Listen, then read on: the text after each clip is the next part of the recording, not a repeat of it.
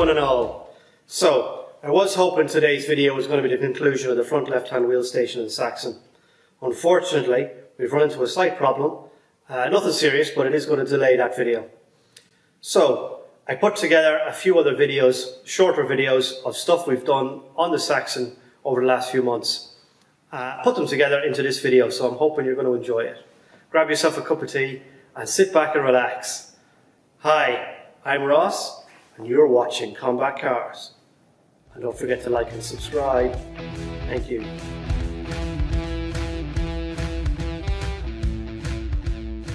So this is the front towing eye off the Saxon. It was fitted with a standard NATO hitch front and back. The idea wasn't so much that it could tow a trailer, although it could tow a trailer, but it was fitted with a recovery bar about eight foot long. And the idea was that you could attach it to the back of a Saxon and to the front of another Saxon and either do a tandem tow or a recovery or tow a broken down vehicle or something like that. This was the one off the front. It was missing the locking mechanism. I managed to get hold of one of those. It was seized, so I previously disassembled all this, sandblasted it, greased it up, primed it, and undercoated it. Today I'm just going to fit this back onto the towing eye and then fit the towing eye to the front of the vehicle. Let's crack on with that.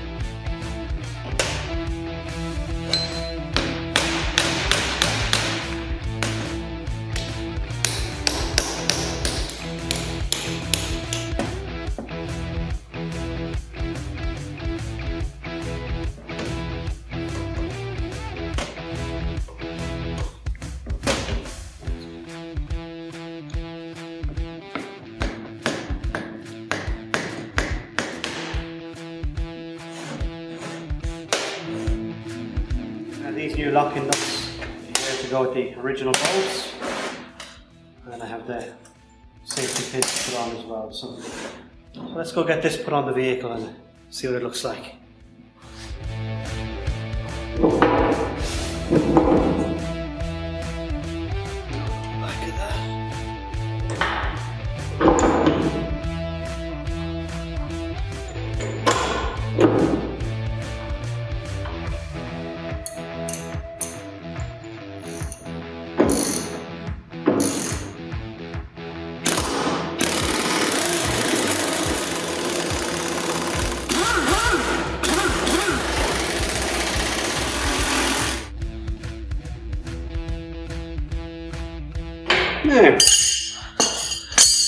That's it. There should be a locking pin in here to lock this in place, stop it turning. This is the locking mechanism for, for this, so that goes through an eye here and then slots through there. I'm not going to put that on just yet. I'm just going to get a bit of paint on this now and finish it off. And that'll be that.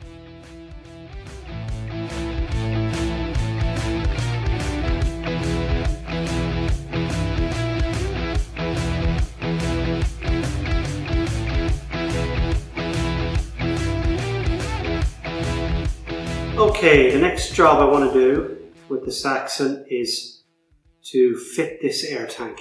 A bit of prep work to do before I do that.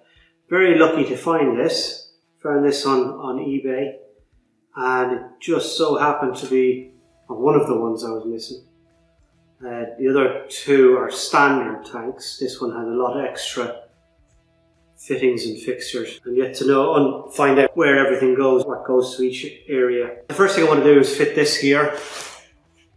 This is the self bleeder or self drainer. So that fits onto the bottom on this on this fitting here and it comes with a a fitting and all. So I'm going to do that. And then I have to study some photographs and some manuals and drawings and see which way around this tank goes.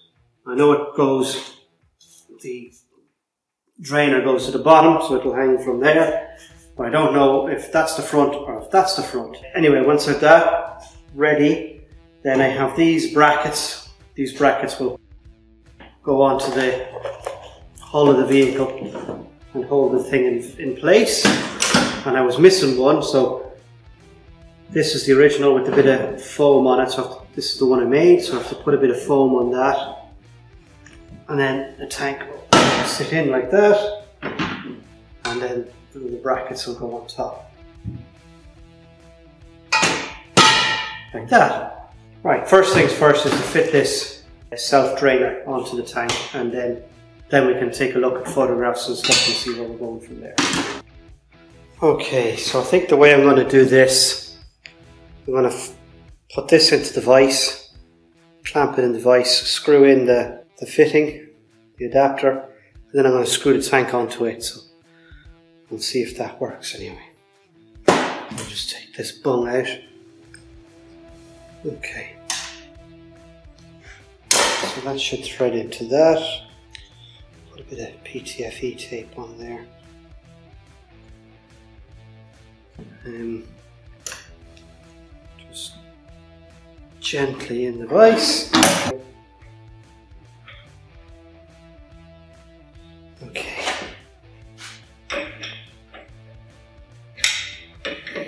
Probably tight enough, I'd say.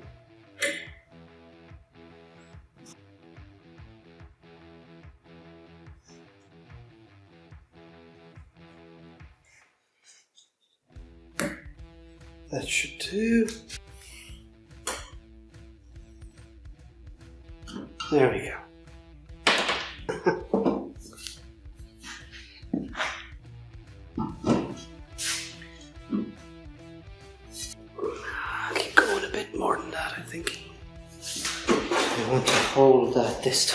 Think. And see, can I turn this?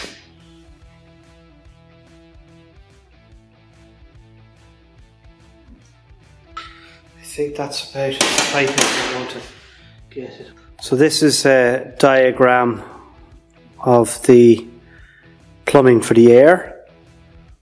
So there's three air tanks, one, two, three. And then these are the the master brake master cylinders with the air tanks attached to them.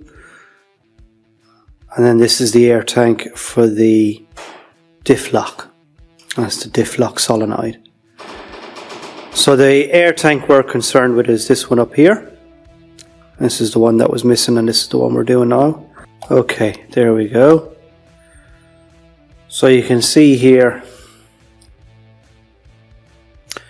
There's three pipes coming off the back. This one here at the top left goes up to this connection here, which is for the airline to pump the tires. Uh, this one here comes from the compressor via that thing there, which is a regulator, I think. And then that's your main line there, which also goes to the compressor.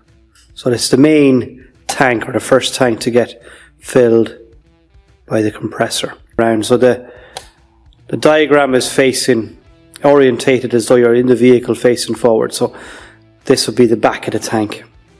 So there's our air tank. And the three points is two points on the front, one on the bottom, and three here. So the one on the bottom we know is for the self drainer. One of the two at the front is for a pressure release valve. So that would make this the back of the tank for the three inlets. So that's for the compressor, that's for the airline, and that's for the compressor. So that would make this the back of the tank. So that's how we orientate Okay, so this is the engine bay. We're at the front of the vehicle looking back. As you can see, it's changed a little bit from when you seen it last. We have some pipes here coming from the driver's compartment that would go under the engine. Those there are the brake light switches, those two. This one is a low pressure warning switch. There's your air tank for the diff locks. That's one of the diff lock solenoids. And these are the two lower tanks. This one was original, which I cleaned up and painted. That's what I bought. And then the tank that we're going to fit goes up above this on this side wall here. So that's the one we needed to know where it was. I want to clean up these threads here and then we're going to mount the air tank.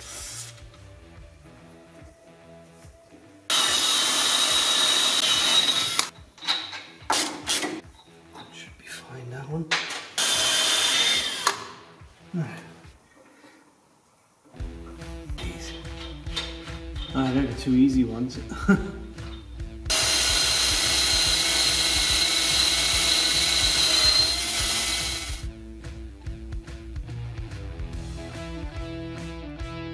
so I've cleaned off all the threads.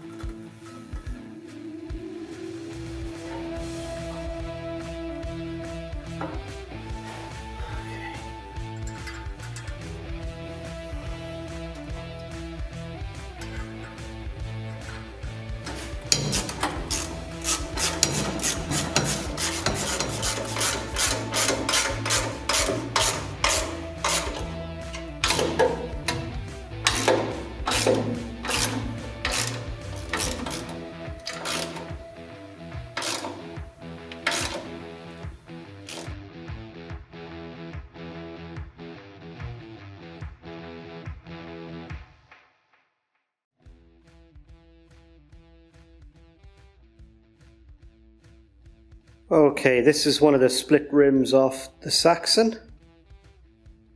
As you can see, the wheel was welded onto the hub. So I'm going to try and clean up all these welds and see if I can recover the little chamfer there and clean them up a good bit. You can see I tried to do some already there. So we'll see how this works out. We'll get them cleaned up and primed and then I can paint them up and hopefully assemble the wheels.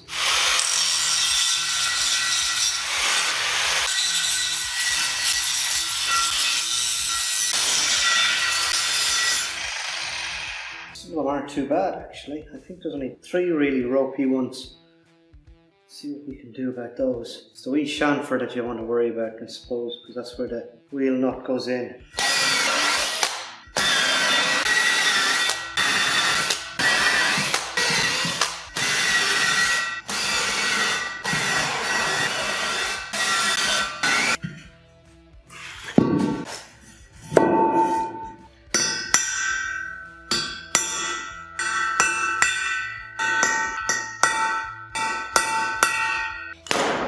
There, let me see what that looks like.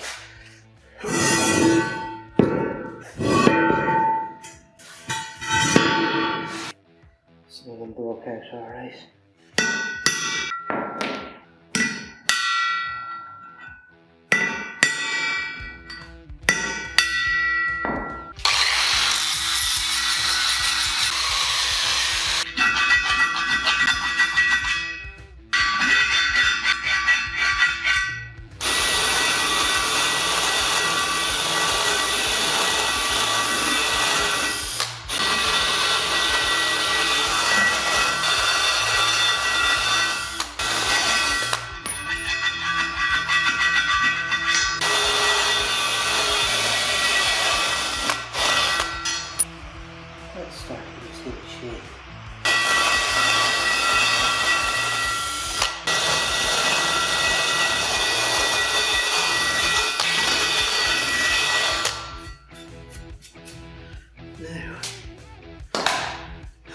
That'll do.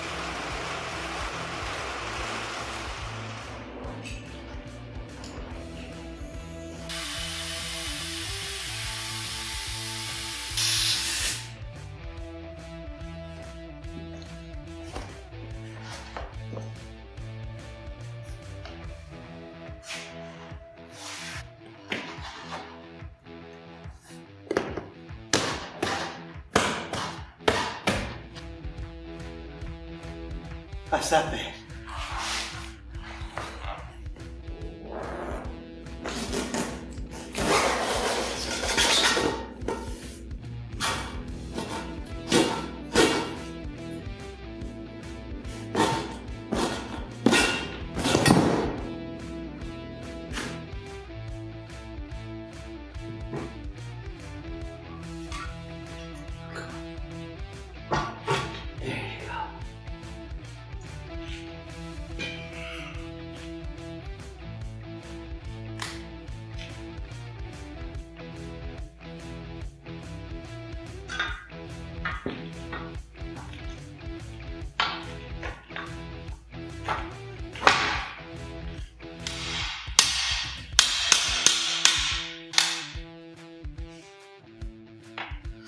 Right, well let's scratch the crap out of the wheels. It's actually not in fully yet.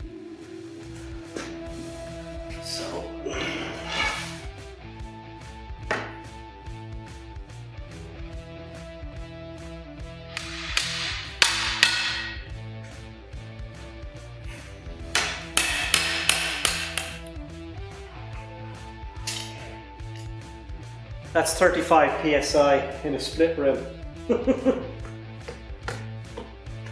and it didn't fly apart and kill me. Happy days. Right, that'll do. Okay, this is the last Saxon wheel to be assembled. We'll see how this goes. Not going to put it on video. I'll just show you the finished result when I have it done. Okay, one done. It's worth noting just that this particular rim, this wheel, it's a four piece split wheel. So it's not the really dangerous type. The really dangerous type has a, you can't actually see the locking bead. It locks inside the tyre area where you can't see it. So you don't know if it's made a good connection until it's too late. But this particular one has a, a sort of a two-piece locking system where the ring has to lock against the rim and then the outer rim here then locks against the ring so the ring can't go. So the ring locks against the wheel and then this locks in this so as it comes out it can't go anywhere. So it's much safer than the than the uh, normal ones. Still, if you don't treat it with a bit of respect, it'll uh, it'll bite you. But that's it there, 35 psi in that at the moment. I'll just go and put that with the rest. That's those two, and the other two are hiding in there. I'll touch up the paint once the wheels are fitted because the lug nuts they'll be all chipped and that as well so anyway that's it